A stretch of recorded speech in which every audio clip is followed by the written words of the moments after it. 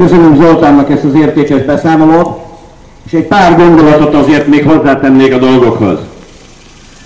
Magyar Bírósági Végrehajtó Kamara és az ő alájuk tartozó önálló bírósági végrehajtó irodák. Uraim, ezek az önálló bírósági végrehajtó irodák ma magánvállalkozásként működnek.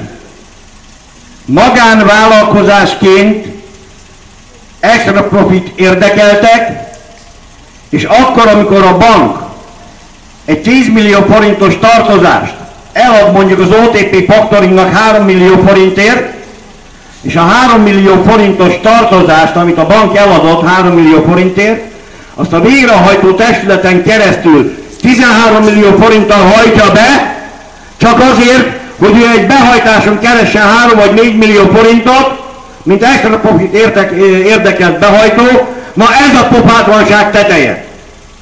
Úgyhogy innentől kezdve követeljük az összes végrehajtással foglalkozó magánvállalkozás vagyongyarapodási vizsgálatát, és számoljanak el ezekkel a holibilis összegekkel irodánként évente 100 és 300 millió forint között mozog, ami magánzsebbe landol, csak azért, mert ők, ők, ők önálló vállalkozási formában végezhetik ezt a feladatot.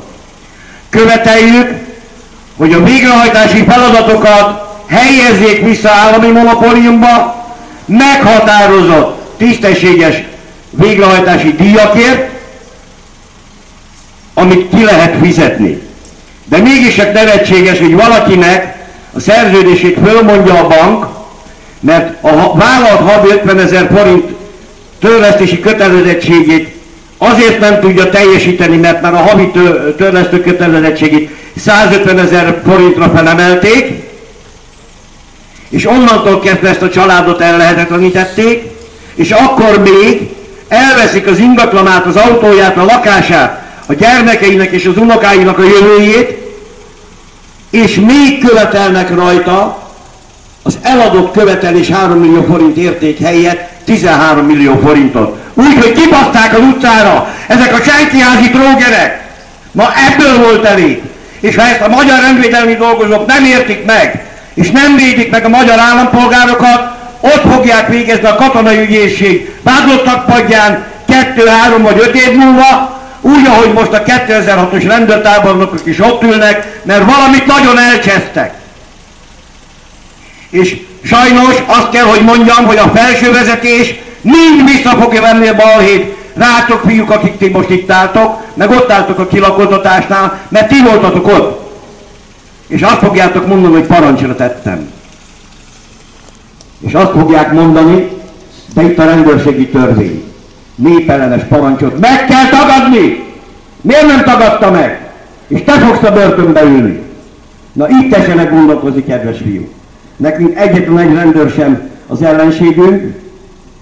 Nem szeretjük, amikor megbüntettek minket egy gyorshajtásért, vagy parkolásért, vagy bármiért, de ez a dolgotok meg hogy megvédjetek minket a kirabó hatalommal szemben.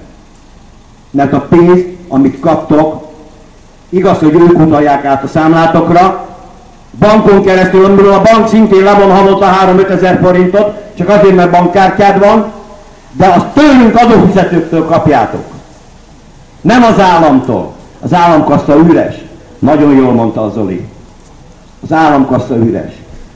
És ráadásul ezek a bitangok, meg a mi politikusaink még mindig nem határolódtak el a palesztin helyzettől, nem ítélik el Izraelt azért, mert háborús cselekményeket provokál, és gyermekeket, asszonyokat ölnek halomszámra, nem álltak ki a felvidéki magyarok mellett az ukrajnai konfliktusban,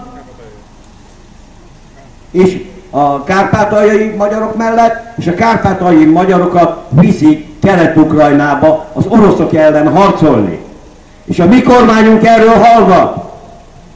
Réges-régen, amióta ismerté vált ez a probléma, hogy a pénzügyi termékek Magyarországon csaláson alapulnak, az lett volna a dolga az ügyészségnek és a rendőrségnek, hogy az, ezeknek a pénzügyi intézeteknek a vezetői bilincsbe verve, letartóztatva törvény elé kellett volna már állítani, és régen nem lenne cirkusz.